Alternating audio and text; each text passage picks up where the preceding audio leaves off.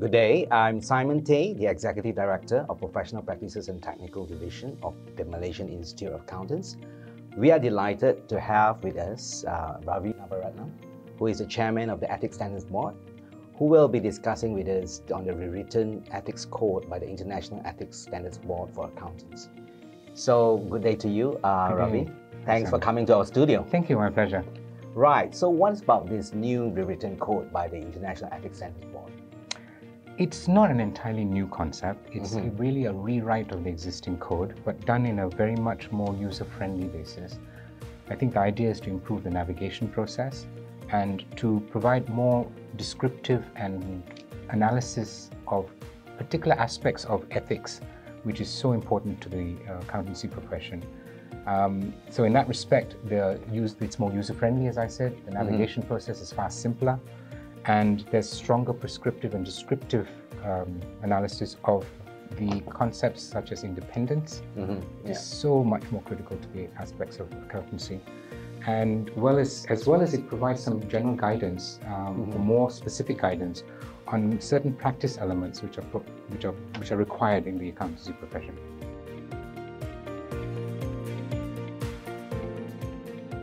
I understand that also in terms of the professional accountants in business, there are areas such as uh, professional skepticism and judgment that is also some of the areas that are in the focus. It is. Um, you know, there are three elements within the ethics um, environment, which, Mhm. to my mind, are very critical. That's really the question of independence, the question of professional judgment, and this whole issue of the skepticism profiling. Um, now, it's difficult to sort of imbue specific wordings for each one. So while the code is an improvement over the old one, it still doesn't reach what perfectionists would want in terms of absolute criteria for each one, but much better than what it was in terms of guidance notes for um, those three elements, i.e., independence, professional judgment, and uh, skepticism.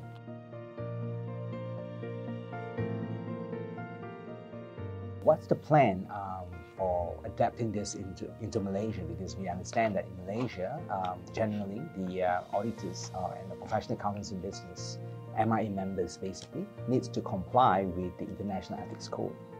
So, so it was written last year in around uh, April Yeah. 2018, and so uh, there is actually a, a, a- a journey into adapting it into Malaysia. So, what's the progress of this? Well, there are two elements. I think the journey started way before even it was put in as an exposure draft to the Ethics Standards Board. Um, and in that respect, the Ethics Standards Board actually participated in the actual formulation, if you like. Perhaps Mhm. not all of it, but towards the tail end of it. There was a constant dialogue between uh, IESBA and its member components. And in that respect, uh, the Ethics Standards Board participated in this process by sending our delegates across to the various roundtables that were held Yeah. in terms of formulation. Yes. Now that it's been formulated and put into a standard code, it's now reached a stage where we've had to review it in terms of potentials for localization. Yes. And it will be, as I understand, uh, subject to clearance from the MIA Council, be put in as a part one of the revised MIA code. Yes. Um, now, in order to put it into as part one, there are two elements. One is the review process, by which the exposure draft is then made into the code. Uh, and then secondly is the localization process. Now, the code is going to be fully implemented in Malaysia by the 15th of June, I believe, 19, 2019. yes. So that's a couple of more months to go. Uh, we are going to be using this period to actually look at what the code requires, IESBA requirements are, how it's going to fit into the MIA code. Um, and we've taken two strands of criteria on this. Number one, that whatever is imbued within the code will at least meet the minimum standards of the IESBA requirements. And in certain Yes. cases, the MIA code will require higher standards than that of the IESBA. Right. Secondly, there will be elements where there will be needs for localization. Now, I won't go into specific details on that, but it's inherent to say that that will be subject to the first criteria, which will be that it will be the minimum criteria.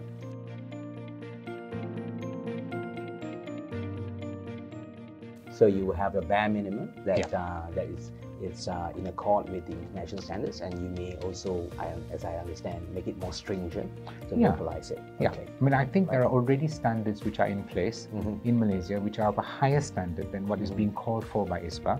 And the Ethics Standards Board in the MIA context see no reason why we should then lower the standards mm -hmm. to meet with the lower or rather minimum requirements of, of uh, IESBA.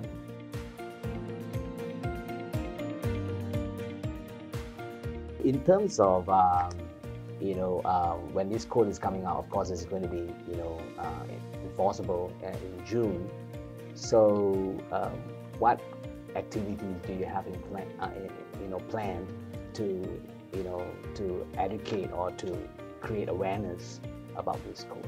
Okay, it's essentially profiling, education, and outreach, and they're all intertwined. Mm -hmm. um, as you know, most recently, I think in late last year, we engaged with the IESBA members by getting two of their core people across to Malaysia, and they're giving an explanation in the broadest context possible to members who attended. We had a pretty good turnout for that, but that's just the start. Mm-hmm. Uh, going down, we expect to be able to uh, have increased profiling of uh, the code, uh, such as with such as this interview. Um, we have outreach programs which we are hoping to conduct with uh, our members which will be explanatory as well as educational. Um, educational in terms of outreach to a wider group of people than rather just our members. It will include students, uh, academics, etc. Um, and then within the question, within the ambit of engagement for further refining the localization, that we will continue to do as well.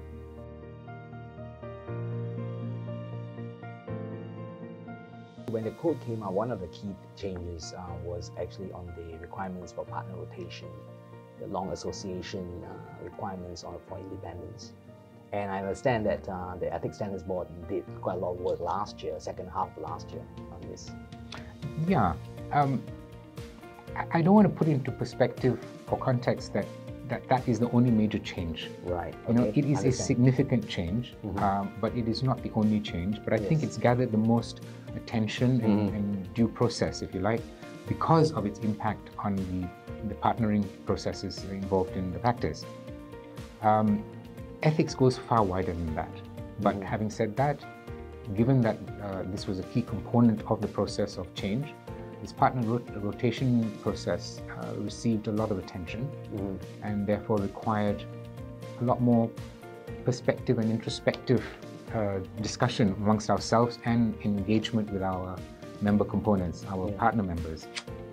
Um, but we've gone through that. Uh, it's still a bit of a hot potato if you if you go into the depths of it. Mm. But it is what it is, and that's what the global environment is going for, and um, we see no reason why we shouldn't either and the Ethics Standards Board also issued out uh, FAQs. Oh yeah, no, I mean, yeah. the dialogue and the engagement was yes. there. We wouldn't right. simply put it in place without engagement with mm. our partner components. Right. Um, useful feedback, and mm -hmm. I think we've settled in on a ground where everybody is, is catered for as much as possible.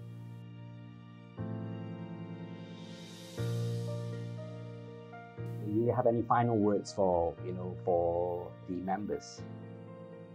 The profession as a whole and ethics is so intertwined that you cannot separate the two. They are, they are one and the same as far as I'm concerned.